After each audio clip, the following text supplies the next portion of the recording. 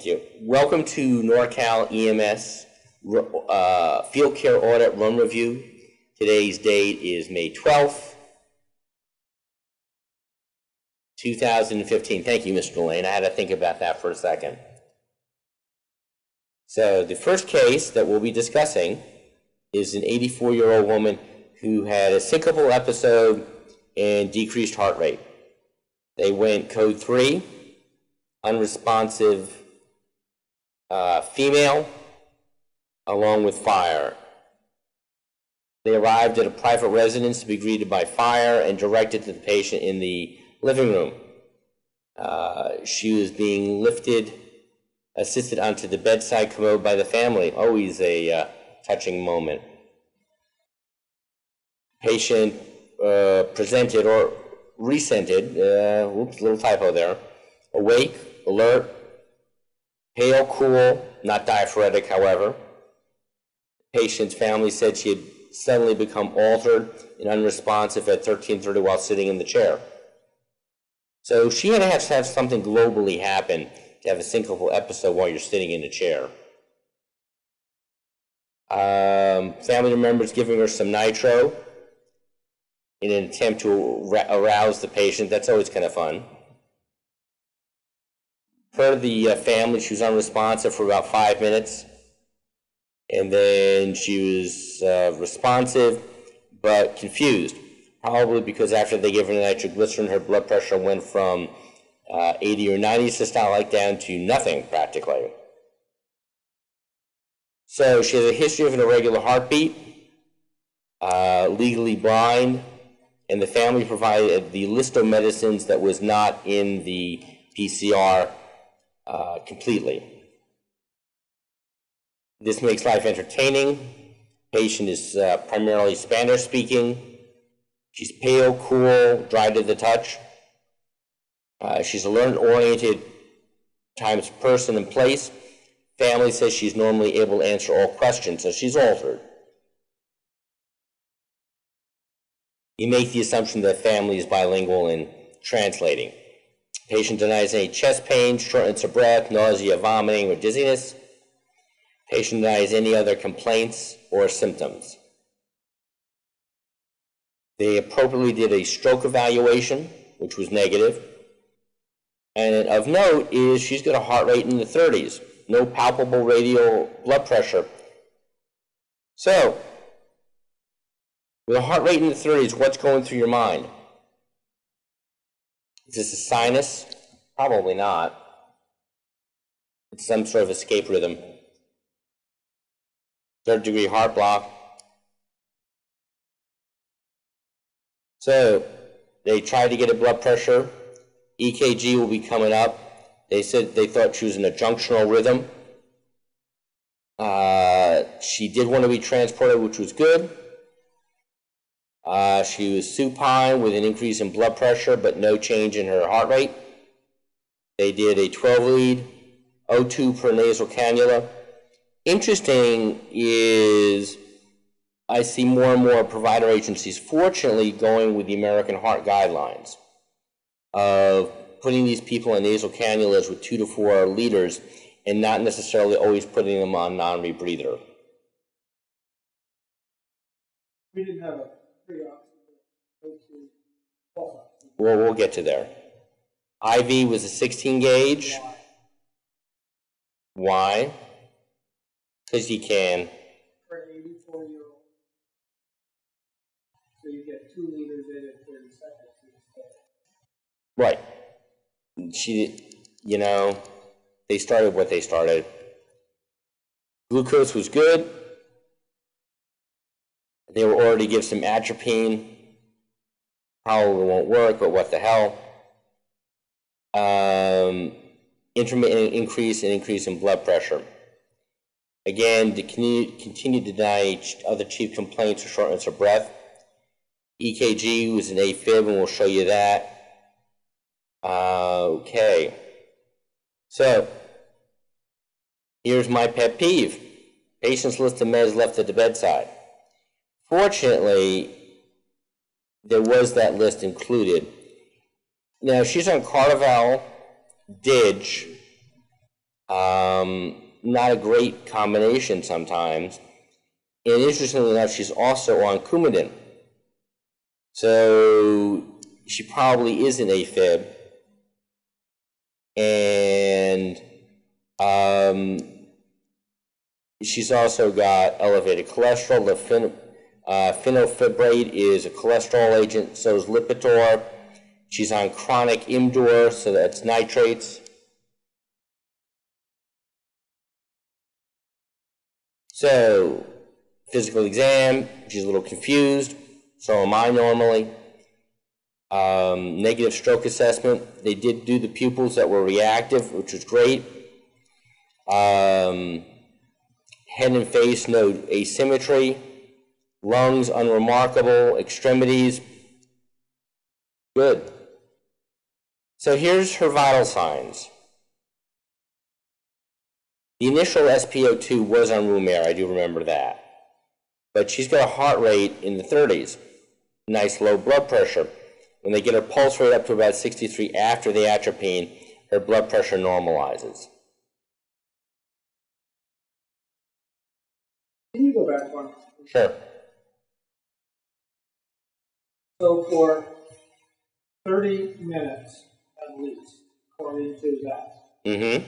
she's running at a heart rate of less than Lance Armstrong's normal heart rate when he was at one hundred percent. This is an eighty-four-year-old person. Mm-hmm. Thirty-one minutes according to this with a heart rate that's a third of what it probably should be for this thing. Probably. Now I'm thinking, She's talking to him not too bad. She's talking to him and everything. Yeah, I'm sorry. probably on ditch uh, toxic too, which is probably what happened to her.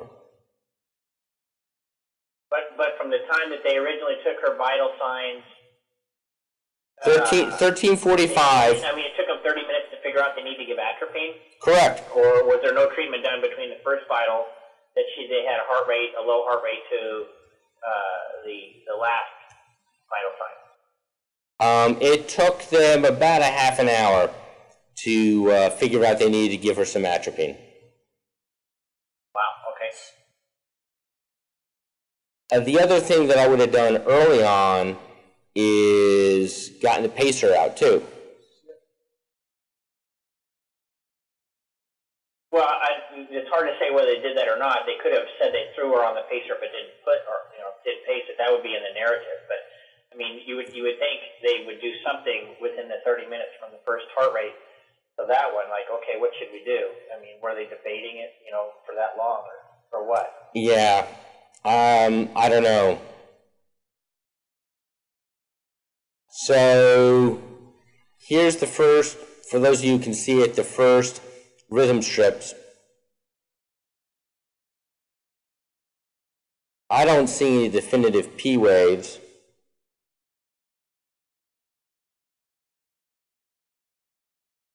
Um, again, here's a 12 lead. It's a dark one, I apologize. Bless you. I mean, she's got downward sloping T waves, which is classic for Dig. Here's another rhythm strip. I don't know whether I would call this a fib, but I would call this an escape beat, escape rhythm. Yeah, it probably is junctional. And why? Mm-hmm. I'm surprised she doesn't have any PVCs. So here's another 12 lead.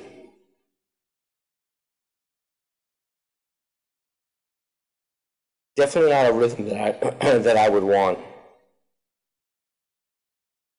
So You think she overdosed on her ditch? I think she overdosed on her ditch. Take it twice, maybe?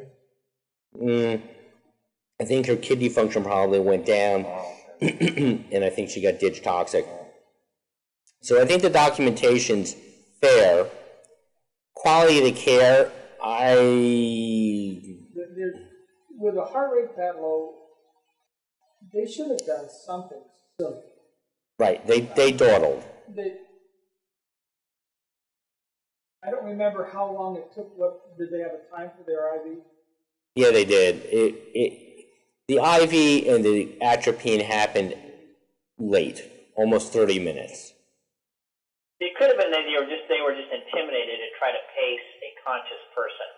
Well, it doesn't You know show that they They go, okay, faced, you know, do we want to sedate him? We want, you know, what do you want to do? And they were debating for that long. Say, oh, let's If give they him didn't have a atropine. line, they wouldn't have well, you could. Was there You attempts? could face, you could face, uh, Well, I know, but he's probably waiting. for But yeah. it. Did he have multiple attempts or anything? One attempt, got his first pop.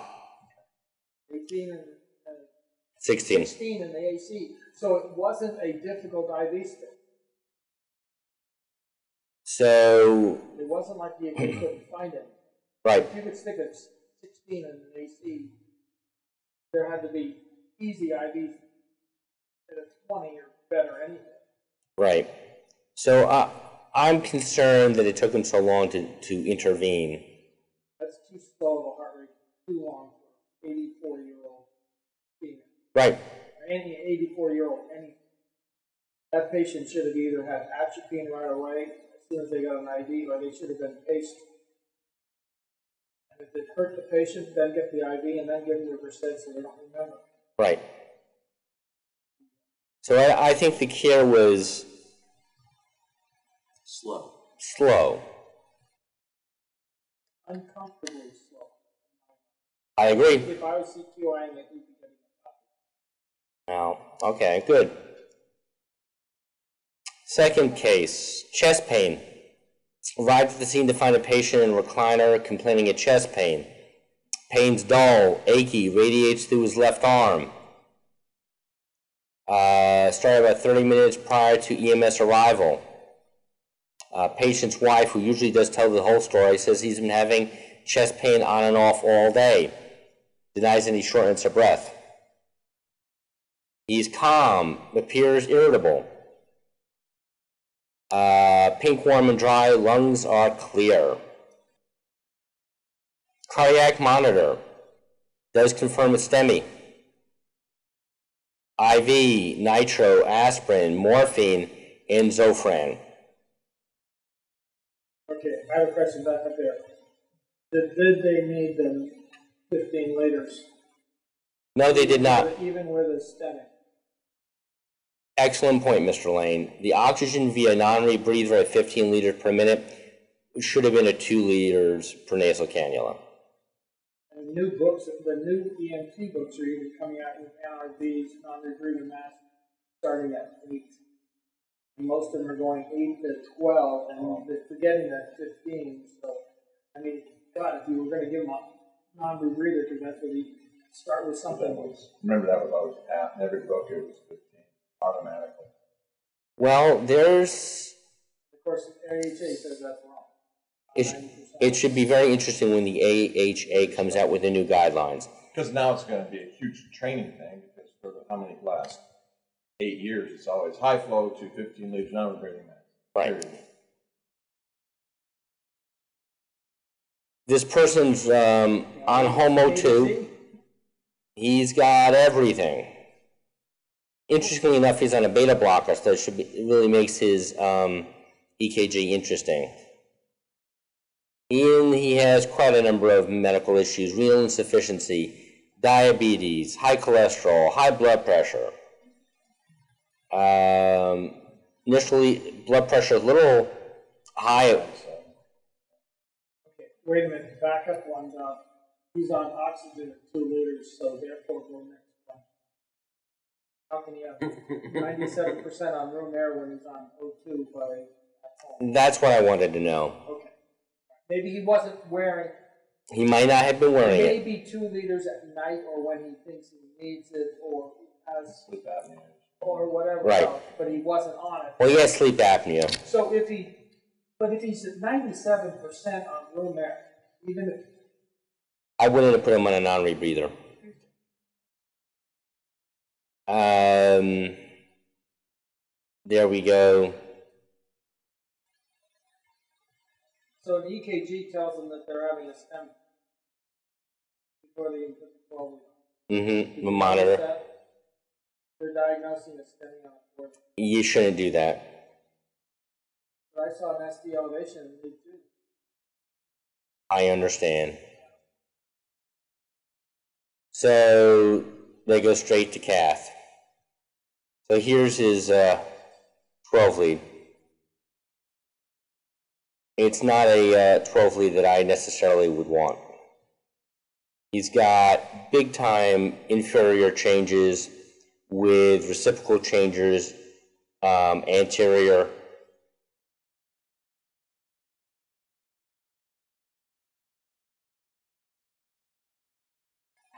Uh, yeah, um, I agree. And here's his uh, lateral, just his lateral leads. That's not a pretty sight. So I think the care was reasonably good, documentation was good, overall impression I think is okay. They worked much more um, expeditiously. Right, now the interesting thing is there are some LEMSAs who are not with STEMIs, these are short transport times again, are not recommending nitro. Because if they're, if they're not had nitro before, you can really bomb their pressure out, particularly the right-sided infarct. Yeah, I've heard that. Um, when the latest I've been going over with our students because we're just into this area is some of them are are talking about that they've been told that they have to get a 12 lead before they get any medication, including aspirin. That's crazy. Because their protocol says whenever possible, 12 leads should be performed prior to giving any medication. And that means even oxygen. Because you might change your 12 lead. Congratulations, your 12 lead changed, but you're saving your patient. I'm trying to figure out which is more important. You treat the patient, not the 12 lead. So, case number three, chief complaint of a rapid heart rate in an 86 year old. Uh, code three for this woman with a rapid heart rate. Uh, moderate distress, complaining of a rapid heart rate. They did like to say rapid heart rate multiple times. Um, she was uh, sitting in her bed trying to sleep when she had a sudden onset of this rapid heart rate at about 2100 hours. She denies any associated symptoms with this. Um, not clear. This that is. She said she was sitting in bed trying to sleep. I don't sleep sitting up. Maybe she does. Well, if she got bad enough kyphosis, it's quite possible. So she denies chest pain, shortness of breath, dizziness, nausea, vomiting, numbness, weakness, tingling. Uh, nothing makes the rapid heart rate better or worse. She's had prior episodes. Um, primary vital signs, secondary is noted below, not appropriate abbreviations. Um, they feel that this is an AFib with PVCs with a rate of between 90 and 140. Code to the ED, given radio report, and then transfer to the receiving nurse. That last statement right there, I have an awful lot of my students who come from other places than NorCal. And they all say that they use that term at the end of their narrative. Yeah, I don't really like it. All times are, quote, approximate. That's why God invented a watch or a cell phone.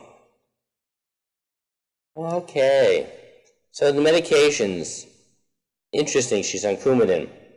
So why is she on Coumadin? She got a DVT? Probably not. PE? Probably not. Um, and maybe for an old DVT, may not. Or she may have AFib chronically. That's a non-valvular issue. So, mental status normal at 2235. Skin is fine. Um, this was a little head face asymmetric smile or droop normal. I'm not quite sure how to interpret that. Uh, her left side was, and whole abdomen was distended. So I'm starting to think, hmm, distended abdomen. What lives in the abdomen? Hmm. Um, vital signs, initial blood pressure is 138 over 89, pulse rate of 100, respiratory rate of 20, her SpO2 of 94%. Her heart rate at one point goes up to 133 with a relatively normal blood pressure. Of note, though, is her SpO2 goes down to 90 on low flow when she was 94% on room air. So, does she have cold extremities? Had the oximeter fallen off? I'm not sure. They put her on two liters and give her some normal saline. So, here's her 12 lead.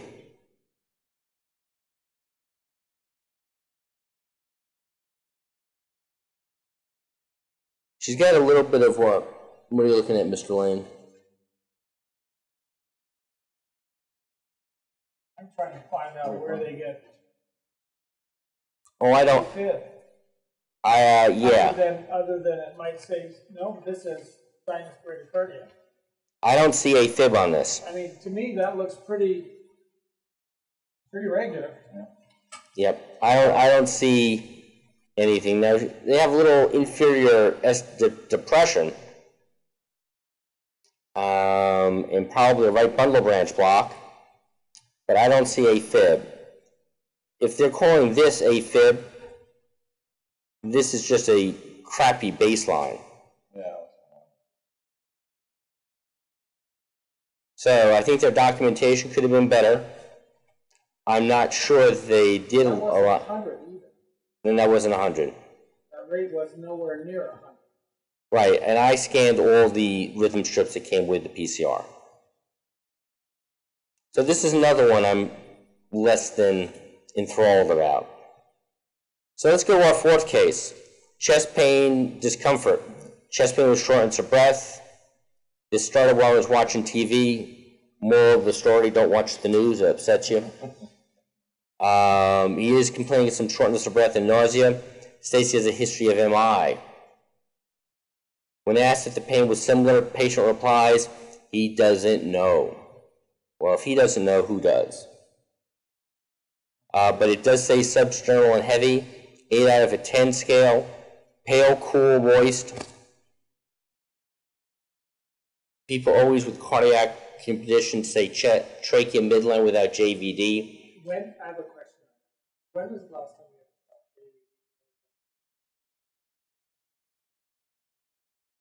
you CHF. You can see JVD. I, I have. Um, but trachea midline. It's not a trauma patient. Yeah, trach, when was the last time you saw trachea? Um, Besides not on a, on a. once. Uh, again, pelvis intact and stable. This is not a trauma patient. So the patient was breathing at a rate of 60. That would have gotten my attention. Um, then it says with coaching, patient's respiratory rate reduced to 18. Um, loaded into the onto the stretcher, into the ambulance. Code two. I'm not going to fault him for going code two, but I would have moved a lot with a, a lot faster with an initial respiratory rate of 60. Is if you ever tried to hyperventilate at 60, you'll pass out. So they gave him. One can hope nasal cannula, four liters. Blood sugars were normal. They gave an aspirin. Uh, nitro was given. A little bit of decrease of pain. Um, they say the heart rate, heart rhythm changed. Second 12 lead, no uh, orders or questions. Interesting, they're on clonidine. They've had TA, uh, myocardial infarction, and a abdominal aortic aneurysm. Doesn't say anything about it being repaired. So, physical exam at 2115. Mental status is normal. Lungs. Now, That's real more descriptive, chest pain, pressure, non-reproducible. I'll give them that. Um, they said GU normal. That's just a lie. That, that's just clicking to, for clicking's sake. If they did a GU exam on this guy, I would be very surprised. So the blood pressure was interesting.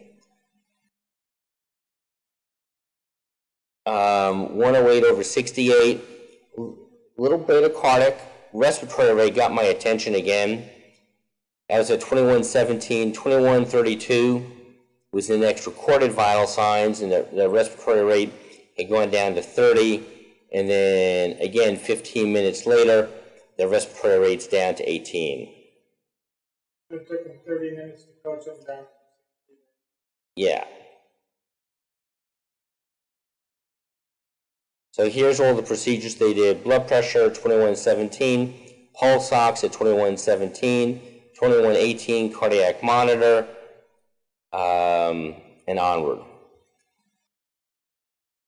So, aspirin, nitro, and Zofran. So they were twenty-one seventeen, finding a chest pain. And then the next one for, next one. I chose twenty-one forty-three. 33. So 33, yeah, So that's still 16 minutes. Again, slow care. Here is a rhythm strip, really crappy baseline yet again.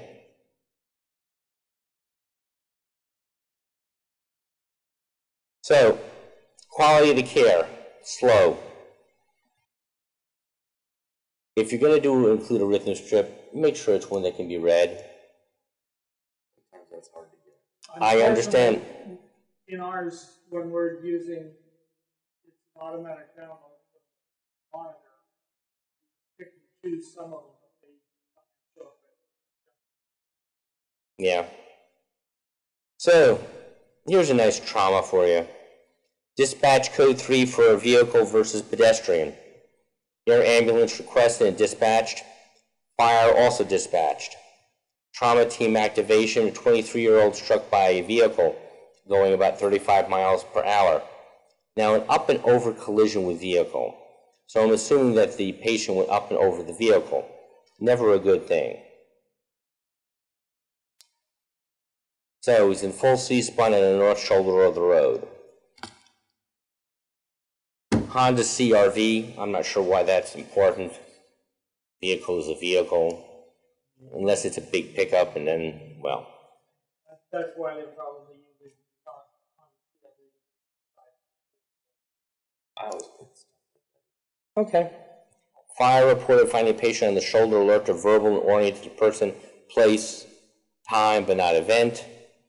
Put in full spinal immobilization. Uh, this was excellent. They did GCS 13 and they said, and only 12, sorry. Just noticed that. Something's wrong. Uh, facial abrasions and lax to lip. I did like the fact that the ears were clear of drainage. Lots of abrasions to the abdomen. Pelvis is stable, non-tender to palpation. Um, good description of the abrasions to the posterior hand, left elbow, full thickness puncture wound. Uh, posterior, I'm assuming they're talking about the back, unassessed by EMS due to being in full C-spine. Per the fire, non-tender with any palpable deformities. That's at least nice that they got that. Exactly. So they put him on the stretcher, suctioned his airway, oxygen via non-rebreather, cardiac monitor, and they tried two IVs, one successful, one not. They arrived at the LZ, the crew was there, blood sugar was good, Patient to the air ambulance with no changes or incidents. Patient's ID transported with the flight crew, no further patient contact, and the patient goes to a trauma center. No meds, no allergies. Here's his fine exam, confused, hence the GCS of 13. Head, face, pain, tenderness, abrasion, laceration. Where? The, yeah, okay, so he's got abrasions to his face. Where? Um, chest and lungs, some tenderness. Left and right, clear breath sounds, which was good. Abdomen, upper quadrants, tender. And he's moving all extremities. So 1750, the blood pressure is 142 over 80, heart rate is 72, respiratory rate of 20, and SpO2 on high flow O2, 100%. Uh, full C spine is out of order, that should have been first. Um, airway, they continue to suction, and at 1810, 20 minutes, patient's loaded. So they were at the scene at 1748, and then they released the patient to the flight crew at 1800. And here's a rhythm. Pretty unremarkable. So here's the one, oh, okay. I think the documentation was reasonable. I think the quality of care was reasonable. I didn't say excellent, I said reasonable. Why, why two fourteen? Just because. Yeah, 16 would have done fine. 18 probably would have done fine. I'm just, I'm wondering if this is an old school medic and traumas always have to be fourteen, or whether this is some medic who wants to now go back to the station and say, It's not on me. go. So, number six is your bonus case. You and your EMS medical director, moi, have requested to help an employee who is actively seizing in the other part of public health building. You quickly walk through the labyrinth of hallways, and it is a labyrinth, trust me, to an open office space. You arrive to find an office with employees milling about, worried about Gerald. So we get to work. Time is 1316. So, ladies and germs in the audience here and in TV land, this is all you get. Let's work through it. Ask me questions. General impression. You see a heavy set slash obese male uh, sitting in a chair listening to the right.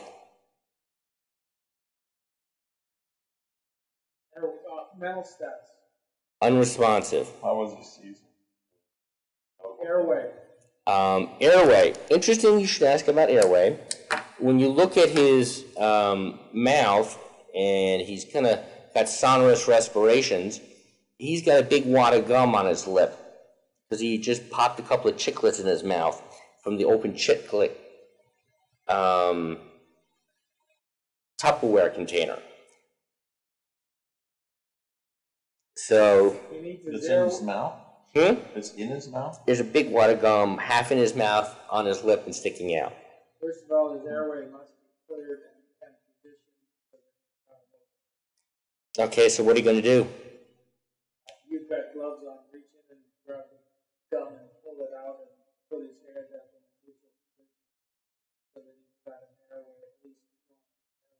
Okay, I still have all my five fingers from that hand, and that's what I did. I took the gum out of his mouth, and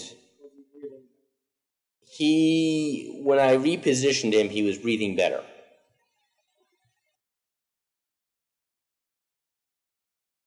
He wasn't sonorous anymore. So, he is relatively rigid.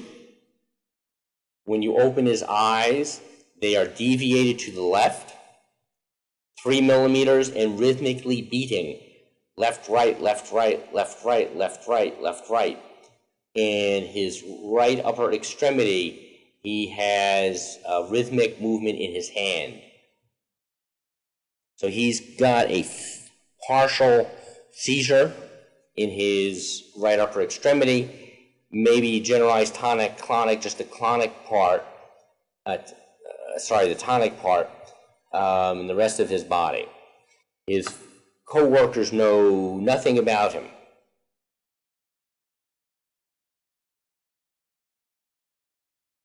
They were already calling 911, and there was a dispatch error, of course. So, I've got gloves on. I've taken the wad of gum out of his mouth. I repositioned his neck head because he's kind of wedged into the chair, and there's only me and a bunch of other coworkers who are just watching. Normally on, normally when you suspect seizures, you're supposed to get the patient into a position where they will not hurt themselves and fall down. Either recovery position, left lateral, or something out of a chair, down on the floor where they won't fall or hit their head. Yeah, I And basically wait for medications that you don't carry in your back pocket. uh, correct. So I stand and hold his head and neck to keep his airway open um, because I asked for somebody to help me lower him to the ground.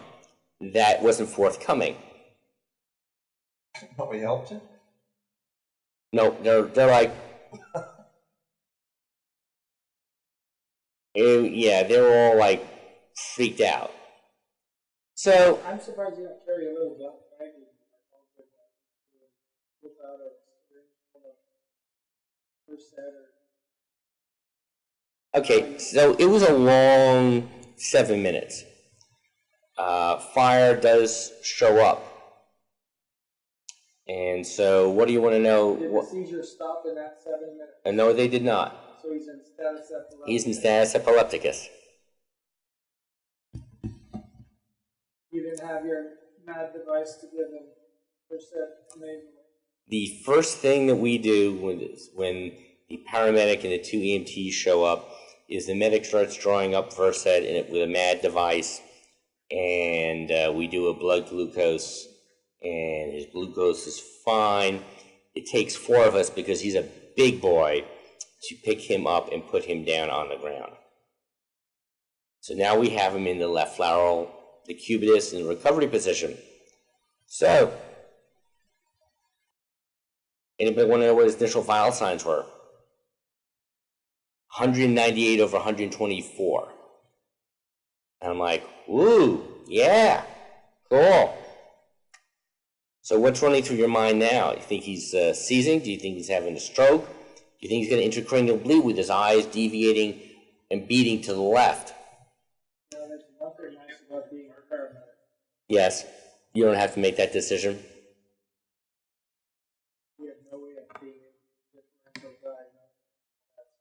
Yep.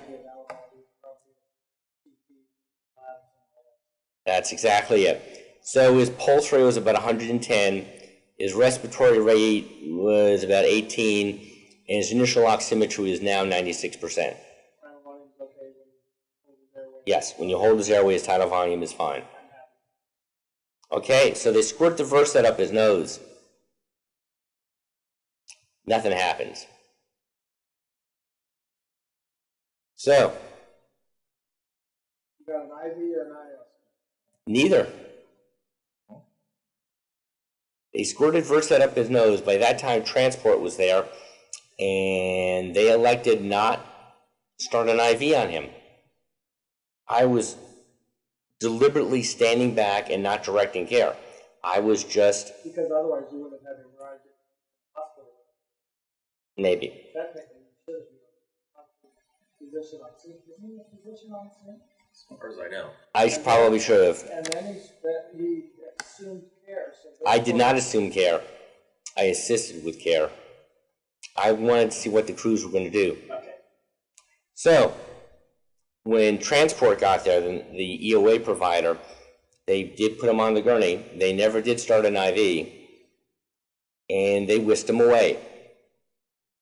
So, I called the hospital later that day, and he remained in status epilepticus, had a known seizure disorder, uh, was not compliant with his meds, got put on a propofol drip with Ativan for breakthrough seizures, and went to the ICU.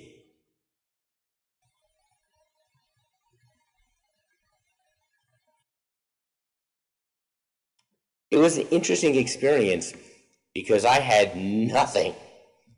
And the pair of gloves they gave me barely fit onto my hand. So, yeah, because I've got, You're not the, you don't have the hugest. no, I don't. So, any questions about this case or any of the cases? So you need a black bag at point. Yeah, the hell I do. We can put you together and jump back, can we? Limited Yeah. supplies? Anybody that's still out there in TV land? Yeah, we're here. So, Still here. it was um, a very sobering experience, to say the least. So, that's it. We are finished early. Um, for June's um, MAC, I hope to have the revised release at scene, um, refusal of care, and the spinal mobilization. And I hope to have um, the at least be able to discuss either the one of the uh, new stroke trials, either MR CLEAN, Extend, or Escape. And we'll work on getting some of the core measures out for further evaluation and, and developing training. Any questions before we uh, close down our uh, field review for the day and the meeting for the day? One, thank you very much for dialing into our uh, soiree, so to speak. Thank you. Okay, guys. Thanks a lot.